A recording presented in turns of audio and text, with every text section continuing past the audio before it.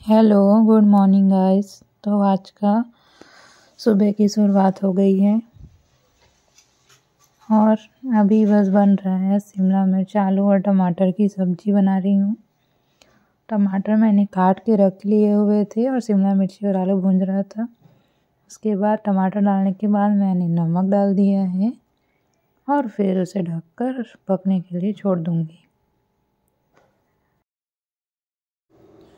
Then उसके बाद मैं पहले गुथे हुए आटे को कलेक्ट कर लेती हूँ और उसकी छोटी छोटी लोइयाँ काट लेती हूँ।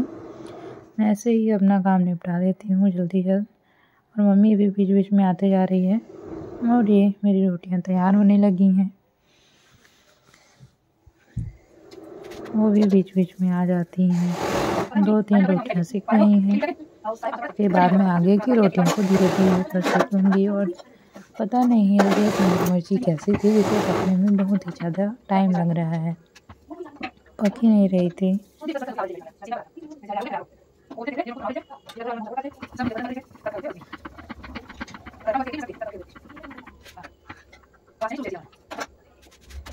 और मैंने घर के पूरे काम निपटा लिए हैं इसीलिए बस रोटी बनाएँगे सब्ज़ी बनाएँगे और बस हमारा दिन तैयार हो जाएगा ब्रेकफास्ट जो कह लीजिए हमारा ब्रेकफास्ट तैयार है। और मैं बस ऐसे ही रोटी सेकती हूँ गैस में रख कर डायरेक्टली। और अभी है मेरी रोटी शायद पक चुकी है। थोड़ा और पकने देंगे। जब तक टमाटर अच्छे से नहीं गलता तब तक सब्ज़ी में नहीं आता है।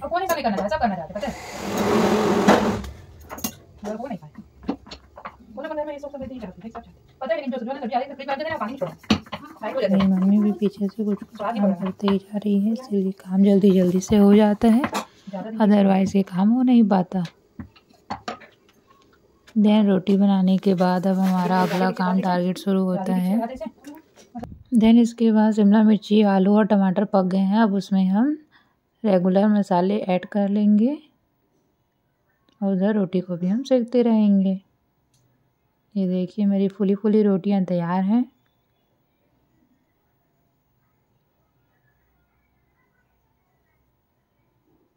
ये हमने डाला हल्दी पाउडर देन मिर्ची पाउडर एंड धनिया पाउडर। और हमारी सब्ज़ी बनकर तैयार हो जाएगी और सारे मसालों को डालने के बाद हम इसे थोड़ी देर ढककर और रख देंगे, जिससे ये तैयार हो जाएगी। सूखी सब्ज़ी और रोटी बहुत अच्छी लगती है, इसीलिए हम इसे खाना प्रेफर करते हैं। मैं आपको खाना निकाल कर भी दिखाऊँगी। आप सब वीडियो में लास्ट तक बने रहिएगा।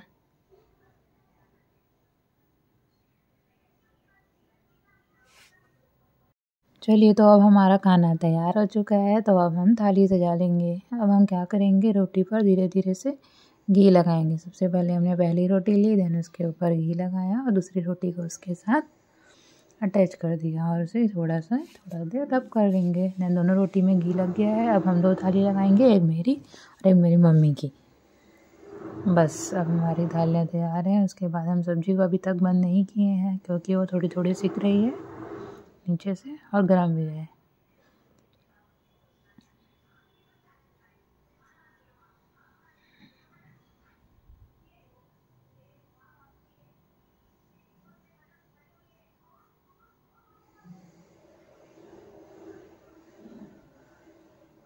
देन सब्ज़ी डालने के बाद हम इसमें आम का अचार रख लेंगे।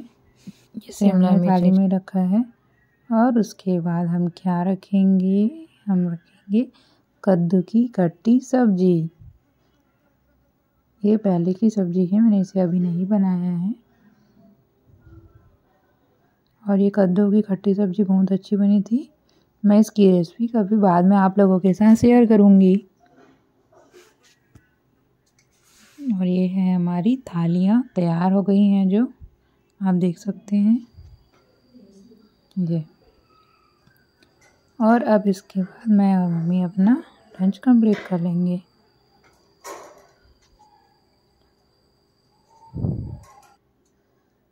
और मम्मी ने संभाल दिया और मैं चली गई थी टीवी ऑन करने। मुझे टीवी ऑन किए बिना खाना खाने में लगता है कि मेरा आधा पेट बस भरा है। पूरा पेट तो भरा ही नहीं है। जब तक मैं टीवी में चालू करके खाना ना खा लूँ। अब ये टीवी चालू हो गया है।